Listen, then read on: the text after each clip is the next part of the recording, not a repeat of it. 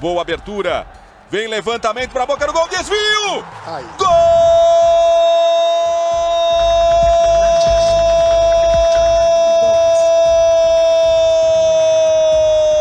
Direito, vai descendo de novo Marres, invadiu, bateu cruzado, Firmino! Gol! Melhor de tudo, a gente acompanha essa nova saga na tela da Band.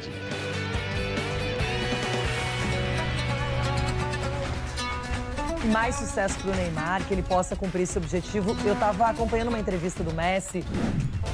También ha hablado Neymar, así justifica su marcha a Arabia Saudí.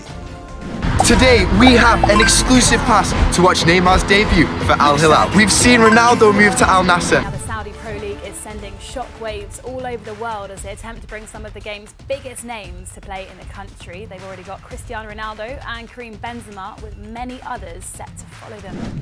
The, the, Saudi Pro League have every intention to be a top five league in the world over the course of the next three, five, seven, ten years. So um, whilst Kante may not be there then, there are players that are going to follow him.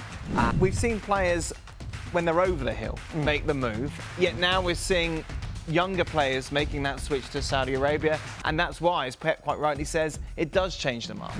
O Cristiano Ronaldo, Benzema, Kante, Firmino, um, we're, we're, adding value to, to the industry. And uh, there have been other you know, countries that have had delayed um, uh, uh, transfer windows, um, and it doesn't matter. You know, the, the, players will look at the market with their, with their representatives and decide where they want to go. I can't believe that no one else has come in and, and picked him up. Um, I think it, the, the, the spend on the transfer fee there is actually a very reasonable price. Now, obviously, teams in the Premier League and teams around Europe might not be able to match the wages on offer to him that he's been offered. But I... Radi, salam alaikum. It wasn't uh, a dream debut. You need to improve and everything, but your evaluation about this game. تقديرك للمباراة اللي حصل النهارده آه يعني تقدير المباراة إنه يعني المباراة كانت صعبة والجو صعب ولسه ما إحنا فاهمين بعض.